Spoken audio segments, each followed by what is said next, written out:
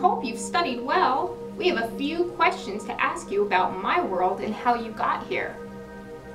First question. Who wrote a description of the New World called The Blazing World? A. Margaret Thatcher B.